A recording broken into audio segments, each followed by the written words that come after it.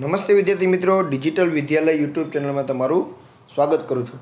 મિત્રો, ધોરણ સાત આપણે સામાજિક વિજ્ઞાનની અંદર પ્રવૃત્તિ નંબર ક્યાં પહોંચ્યા હતા? તો કે બે. એનું નામ છે મુઘલ સામ્રાજ્ય. પ્રથમ પ્રવૃત્તિનો તમે વીડિયો જોઈ લીધો હશે, તેમાંથી બધી વસ્તુ લખી લીધી હશે અને સમજી લીધી પણ હશે. બરાબર? તો આપણે હવે વાત કરવાની છે, આપણે પહેલાં કઈ વાત કરી? દિલ્હી સલ્તનતની. હવે આપણે વાત કરવાની છે મુઘલ સામ્રાજ્યની. બરાબર? તો આપણે એનો પરિચય લઈ લઈએ. મિત્રો, આપણે આગળના પ્રકરણમાં જોઈ ગયા કે ભારતમાં દિલ્હી સલ્તનતનો ઉદય અને અસ્ત કેવી રીતના થયો. બરાબર? સમજી ગયા હતા નો વીડિયો જોયો હોય તો તમે પ્લેલિસ્ટમાં જઈ અને વીડિયો જોઈ લ્યો. સર્વપ્રથમ ગયા મહિનામાં આપણે પ્રથમ સંપુટમાં ભારતમાં રાજપૂત યુગ અને તેની શાસન વ્યવસ્થા વિશે જાણી ગયા. આપણે જૂન મહિનામાં જે કાર્યક્રમ આપેલો હતો, જૂન મહિનામાં જે પ્રવૃત્તિ આપેલી હતી, એમાં શું આપેલું હતું? તો કે રાજપૂત યુગ વિશે આપેલું હતું. અને તેમાં આપણે જોયું હતું કે પૃથ્વીરાજ ચૌહાણના પરાજયની સાથે જ ભારતમાં દિલ્હી સલ્તનતનો પાયો નખાયો હતો. જેનો અંત ક્યારે થયો? તો કે ઈસવીસન પંદરસો ને છવ્વીસમાં થયો, જ્યારે મુઘલ શાસક બાબરે ઇબ્રાહિમ લોધીને હરાવી ભારતમાં મુઘલ સામ્રાજ્યની સ્થાપના કરી. તો ચાલો આપણે મુઘલ સામ્રાજ્ય વિશે જાણીએ. બહુ મજા આવશે મિત્રો, મુઘલ સામ્રાજ્ય ભણવાની ખૂબ મજા આવશે. અને મુઘલ સામ્રાજ્યનો આખો આપણે વીડિયો આપણી યુટ્યુબ ચેનલ છે, તેમાં થોડાક જ દિવસમાં આખો મૂકી દેશી બોર્ડ વર્ક દ્વારા તમે વ્યવસ્થિત ત્યાંથી તમે સમજી શકશો. અત્યારે તમે આ બધું લખી લ્યો. મિત્રો, તમે મુઘલ સામ્રાજ્યને લગતી ઘણી ફિલ્મો કદાચ જોઈ હશે. ઔરંગઝેબ ને એ બધી ફિલ્મો ઘણી બધી આવેલી છે. બરાબર? આપણે જોઈ પણ હોય. અથવા અકબર જોઈ હશે. અથવા તો તમે ઉત્તર ભારતના પ્રવાસે ગયા હશો, તો મુઘલ સામ્રાજ્યના ઘણા જાણીતા સ્થાપત્યો પણ જોયા હશે. ઉત્તર ભારતમાં તમે ગયા હો, દિલ્હી બાજુ, ઉત્તર પ્રદેશ બાજુ, તો ત્યાં તમને શું, આના બધા જે સ્મારકો છે, આના બધા જે સ્થાપત્યો છે, જેમ કે તાજમહેલ, લાલ કિલ્લો, એ બધા મુઘલ સામ્રાજ્યના સ્થાપત્યો છે. બરાબર? પ્રજાસત્તાક દિવસે આપણે પ્રધાનમંત્રી જે લાલ કિલ્લા પરથી ભાષણ આપે છે તે પણ મુઘલ સામ્રાજ્યનું જ સ્થાપત્ય છે. તો ચાલો જાણીએ આપણે આ સામ્રાજ્યને. મુઘલ સામ્રાજ્ય, બરાબર? તો શાસક કોણ છે? સમયગાળો કેટલો છે અને એની વિશેષતા? એ આપણે થોડુંક જાણતા જઈએ. તો પહેલાં કોણ આવે છે? તો કે બાબર. એનો સમયગાળો? તો કે ઈસવીસન પંદરસો ને છવ્વીસથી ઈસવીસન પંદરસો ને ત્રીસ. જો મિત્રો, ચાર જ વર્ષ એ શાસન કરી શક્યો, પણ ભારતમાં પગ પેસારો કરી દીધો મુઘલ સલ્તનતનો. તેની વિશેષતા શું હતી? તો કે અરબી અને ફારસી ભાષાનો જાણકાર એવો બાબર ખૂબ કુશાગ્ર બુદ્ધિવાળો રાજા હતો. તેણે પોતાની આત્મકથા લખી હતી, જે બાબરનામા તરીકે ઓળખાઈ હતી. જો તમને પરીક્ષામાં આવો સવાલ પૂછાય કે બાબરે તેની કઈ આત્મકથા લખી હતી, તેનું નામ શું હતું, તો કે બાબરનામા છે એ એની આત્મકથાનું નામ છે. ત્યારબાદ આપણે આગળ વધી, હુમાયુ. તો એનો સમયગાળો ઈસવીસન પંદરસો ને ત્રીસથી ઈસવીસન પંદરસો ને ચાલીસ અને ઈસવીસન પંદરસો પંચાવનથી ઈસવીસન પંદરસો ને છપ્પન. હવે તમે કહેશો, આવી રીતના કેમ થયું? પહેલાં ચાલીને પછી પાયો પંચાવનથી છપ્પન. તો ભાઈ, આમાં તો બાજોડા પહેલાં હાલતા હોય ને, એટલે પંદરસો ચાલીસમાં ભાઈ ભાગી ગયા હતા. હારી ગયા એટલે શેરશાહ સુરી સાથે યુદ્ધ થયું, એમાં એ હારી જાય છે અને ભાગી જાય છે. ત્યારબાદ ફરી પાછો પંદરસો ને પંચાવનમાં આવે છે અને ફરી યુદ્ધ કરે છે અને જીતે છે. ફરી એનું સામ્રાજ્ય સ્થાપે છે. સ્થાપે છે એટલે એને આવી રીતના અલગ અલગ સમયગાળો છે. હવે આપણે એની વિશેષતા જોઈએ. બાબરનો પુત્ર હુમાયુ તેના પછી મુઘલ સામ્રાજ્યનો રાજા બન્યો. તેના નામનો અર્થ નસીબદાર એવો થાય છે. જો હુમાયુનું નામનો અર્થ શું થાય? તો કે નસીબદાર.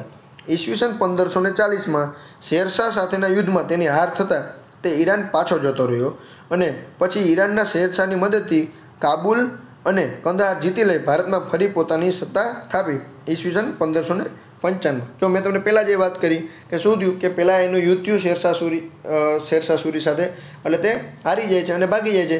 ત્યારબાદ શું કરે? બીજા બે ત્રણ રાજાને ભેગા લઈને આવી અને યુદ્ધ કરીને પછી જીતી જાય છે. ફરી એની સત્તા સ્થાપી દે છે. બરાબર? ત્યારબાદ આપણે આગળ વધી શેરશાહ સુરી તો શેરશાહ સુરીની આપણે વાત કરવી પડે ને? વચ્ચે કામ કરી ગયો પંદર વર્ષ તો એનું પણ આપણે જાણી લઈશું છે. તો કે શેરશાહ સુરી તો એનો સમયગાળો ઈસવીસન પંદરસો ને ચાલીસથી ઈસવીસન પંદરસો ને પંચાવન. તે મૂળ અફઘાની શાસક હતો. જેણે હુમાયુને હરાવી પોતાની સત્તા સ્થાપી. તેણે પોતાના સમયમાં ટપાલ વ્યવસ્થા શરૂ કરાવી. ઉપરાંત યાત્રાળુઓ માટે ધર્મશાળા બંધાવી, રૂપિયાનું ચલણ શરૂ કરાવ્યું. તેણે મહાન રાજમાર્ગ ગ્રાન્ડ ટ્રંક રોડનું નિર્માણ કરાવ્યું. જો આને ઘણી બધી વિશેષતાઓ છે, આને શું શું સારા કામ કર્યા? તો કે પહેલાં તો રૂપિયાનું ચલણ શરૂ કરાવ્યું, ટપાલ વ્યવસ્થા શરૂ કરાવી, તેણે મહાન રાજમાર્ગ ગ્રાન્ડ ટ્રંક રોડનું નિર્માણ કરાવ્યું. આ રોડ એટલો બધો મોટો છે કે આપણે બાંગ્લાદેશથી શરૂ થાય છે એ રોડ. અને આમ અફઘાનિસ્તાન સુધી એ રોડ જાય છે. એ સમયમાં આવડો મોટો રોડ એને બનાવેલો હતો. એટલે જેને રાજમાર્ગ ગ્રાન્ડ ટ્રંક રોડ કહેવામાં આવે છે. બરાબર? ત્યારબાદ આપણે આગળ વધી. તો કોણ આવે છે? તો અકબર. અકબર વિશે તો આપણે બધા ઘણા બધા પરિચિત હોય સિરિયલો જોયું હોય, ટીવી જોયું હોય.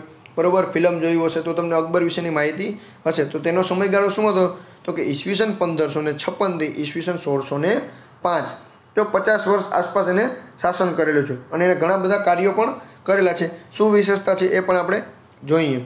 અકબરની ગણતરી ભારતના મહાન રાજાઓમાં થાય છે. તે કદાચ સૌથી વધુ ખ્યાતિ ધરાવતો રાજા છે. જેનો જન્મ ઈસવીસન પંદરસો ને બેતાલીસમાં અમરકોટના એક હિન્દુ રાજપૂત રાજાના ઘરે થયો હતો. તે હુમાયુના અવસાન બાદ માત્ર ચૌદ વર્ષની ઉંમરે રાજા બન્યો હતો. તેઓ ચૌદ વર્ષમાં રાજા બની ગયો છે.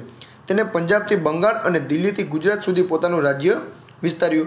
અકબર અને મેવાડના મહારાણા પ્રતાપ વચ્ચે હલ્દી ઘાટીનું યુદ્ધ થયું હતું. જો આ સવાલ તમને ઘણી બધી એક્ઝામમાં પૂછાઈ શકે કે ભાઈ મહારાણા પ્રતાપ અને અકબર વચ્ચે ક્યાં યુદ્ધ થયું હતું? અને શું નામ છે તો? હલ્દી ઘાટીનું યુદ્ધ. એમ પણ સવાલ પૂછાય કે હલ્દી ઘાટીનું યુદ્ધ છે એ કોના કોના વચ્ચે થયું હતું? તો અકબર અને મેવાડના મહારાણા પ્રતાપ વચ્ચે. બરાબર? તેણે ફતેહપુર સિકરીને પોતાની રાજધાની બનાવી હતી અને અનેક સ્થાપત્યોનું નિર્માણ કરાવ્યું હતું. અકબર એક સમાજ સુધારક, બિન સાંપ્રદાયિક અને ઉદારવાદી રાજા હતો. તેને દિને ઇલાઈ નામના ધર્મની સ્થાપના કરી હતી. આ પણ સવાલ તમને પૂછાય કે ભાઈ દિને ઇલાહી ધર્મ છે, એની સ્થાપના કોણે કરી હતી? તો જવાબ આવશે અકબર. ઉપરાંત તેણે બીજા ઘણા ધર્મ ગ્રંથોનો અનુવાદ ફારસીમાં કરાવ્યો હતો. તે સમયે ફારસી ભાષા છે, એ લોકોની મુખ્ય ભાષા હતી. એટલે આપણું જે ભગવદ્ ગીતા ને એવા બધા જે આપણા જે ગ્રંથો હતા ને, ઋગ્વેદ, એ બધા એને શું કરતા એ ફારસી ભાષામાં કન્વર્ટ કરાવતા અને એમાંથી એ લોકો વાંચતા. તેના સમયમાં મોટાભાગનો ભારત દેશ મુઘલ સામ્રાજ્ય હેઠળ હતો અને આર્થિક રીતે સમૃદ્ધ પણ હતો. એટલે અકબરનું જે શાસન છે, એ ઘણો લાંબો સમય ચાલેલું છે અને તેના ઘણા બધા સારા સારા એવા કાર્યો પણ કરેલા છે. ત્યારબાદનો રાજા કોણ આવશે? તો કે જહાંગીર. એનો સમયગાળો? તો કે ઈસવીસન સોળસો પાંચથી ઈસવીસન સોળસો સત્યાવીસ. અકબર રાજાએ સ્થાપેલો તમામ વારસો જહાંગીરને મળ્યો હતો. તેને હિન્દુઓ સાથે સંબંધો સ્થાપી તેને શરૂ રાખ્યો હતો. તેણે પૂર્વમાં અસમ અને દક્ષિણમાં ગોલકોંડા સુધી પોતાનું સામ્રાજ્ય વિસ્તાર્યું હતું. તેના સમયમાં ચિત્રકલાનો ખૂબ વિકાસ થયો હતો. તે પોતે પણ એક સારો ચિત્રકાર હતો. હવે તમને પૂછે કે મુઘલ સામ્રાજ્યમાં સારો ચિત્રકાર કયો રાજા હતો અથવા કેને વધુ શોખ હતો ચિત્રકામનો? તો જવાબ આવશે જહાંગીર. આ સવાલ પૂછાઈ શકે એવા છે, બરાબર? કે કયા રાજાને ચિત્રનો શોખ હતો? તો જવાબ આવશે જહાંગીર. ત્યારબાદ જહાંગીર પછી કોણ આવશે? તો કે શાહજહાં. ઈસવીસન સોળસો ને સત્યાવીસથી ઈસવીસન સોળસો ને છપ્પન. તેનું હુલામનું નામ શું હતું? ખુર્રમ.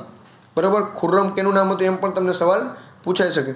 તે પણ કલા અને સ્થાપત્યનો ચાહક હતો.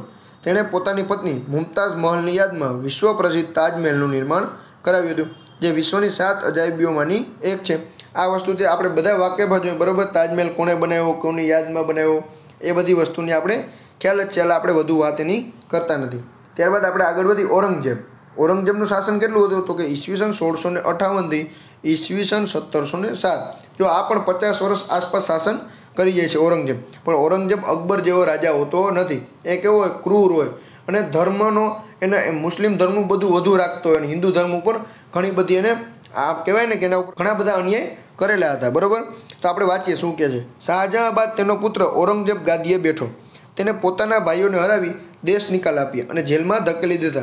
જો એના ભાઈને પણ એ મૂકતો નહોતો, બરાબર? તેને પચાસ વર્ષ સુધી શાસન કર્યું.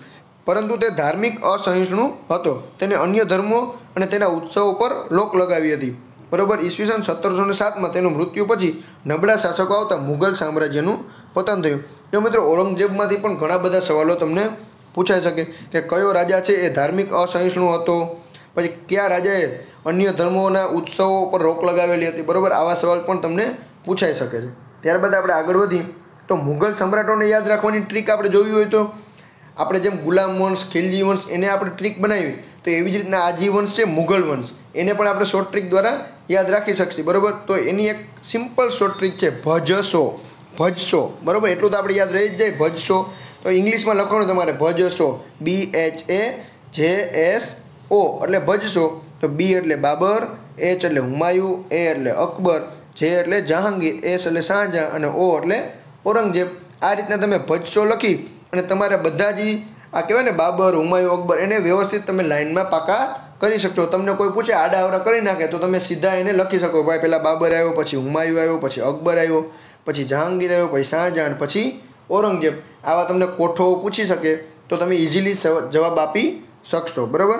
ત્યારબાદ ભારતમાં મુઘલ સમકાલીન રાજાઓ. આ સમયે ભારતમાં બીજા અનેક મહાન રાજાઓ પણ થઈ ગયા. જેમણે મુઘલો સામે યુદ્ધ પણ કર્યા અને પોતાનું રાજ્ય પણ બચાવ્યું. તો ચાલો એના વિશે પણ આપણે જાણી લઈએ આ બધા કોણ હતા. તો રાજામાં કોણ છે? તો કે રાણા સંગ્રામસિંહ. તો એનો સમયગાળો તો કે બાબરને સમકાલીન. હવે સમકાલીન એટલે શું? તો કે જે સમયગાળા દરમિયાન બાબર હોય, એની હારોહાર તે પણ ત્યાં રાજ કરતો એટલે એને સમકાલીન કહેવાય. આપણા જેવડો, ટૂંકમાં આપણા જેવડો, એને કહેવાય સમકાલીન. તો એની વિશેષતા શું છે? તેઓ મેવાડના રાણા હતા અને રાણા સાંગાના નામે પ્રખ્યાત હતા. હવે ત્યારબાદ આવશે મહારાણા પ્રતાપ. તો એ કોને સમકાલીન હતા? અકબરને. કારણ કે હલ્દી ઘાટીનું યુદ્ધ છે, એ પણ એની સાથે જ થયું. તો સમકાલીન હોય તો જ એની સાથે યુદ્ધ થયું હોય ને? તો એની વિશેષતા છે, અકબરની સામે યુદ્ધ લડનાર મેવાડના અતિ પ્રતાપી રાજા હતા. તેઓ ઈસવીસન પંદરસો છોતેરમાં હલ્દી ઘાટીના યુદ્ધ લડ્યા હતા. તેમનો ઘોડો ચેતક પણ ખૂબ વીર હતો. આપણે મહારાણા પ્રતાપને તો ઓળખતા હોય. એનો ઘોડો ને એ બધી આપણે ખબર એનું નામ શું છે? ચેતક. બરાબર? એ પણ આપણે યાદ રાખી લેવાય. ત્યારબાદ વીર દુર્ગાદાસ રાઠોડ. તો એ કોના સમકાલીન છે? તો ઔરંગઝેબને સમકાલીન. તેઓ ખૂબ વીર રાજા હતા. તેમણે ઔરંગઝેબનું આધિપત્ય સ્વીકાર્યું ન હતું. આધિપત્ય એટલે ઔરંગઝેબ એમ કહે કે, ભાઈ, આપણી અંડરમાં આવી જા. તું તારું રાજ કરજે. મને વીસ ટકા, ત્રીસ ટકા આપજે. તો એને એ સ્વીકાર્યું હતું નહીં. એની અંડરમાં એને કામ કરેલું નહોતું. ત્યારબાદ આપણે છત્રપતિ શિવાજી વિશે વાત કરી. તો એ કોને સમકાલીન હતા? ઔરંગઝેબને સમકાલીન હતા. બરાબર? ઔરંગઝેબની સાથે જ એનું સામ્રાજ્ય છે. એ મહારાષ્ટ્રનો જે શિવનેરી કિલ્લો છે, એ બધી જગ્યાએ મહારાષ્ટ્રના પુણેના એ બધા પર્વતોમાં એ છત્રપતિ શિવાજીનું શાસન હતું. એમાં આપણે વાત કરી કે ભારતના મહાનતમ રાજાઓમાં શિવાજીની ગણના થાય છે. તેઓ મહાન અને પ્રતાપી રાજા હતા. ઈસવીસન સોળસો ને સત્યાવીસમાં તેમનો જન્મ મહારાષ્ટ્રના શિવનેરીમાં થયો હતો. તેમના માતા જીજાબાઈ હતા. તેમણે મરાઠા સામ્રાજ્યનો વ્યાપ વધારવા માટે ચાલીસ કિલ્લા જીત્યા હતા.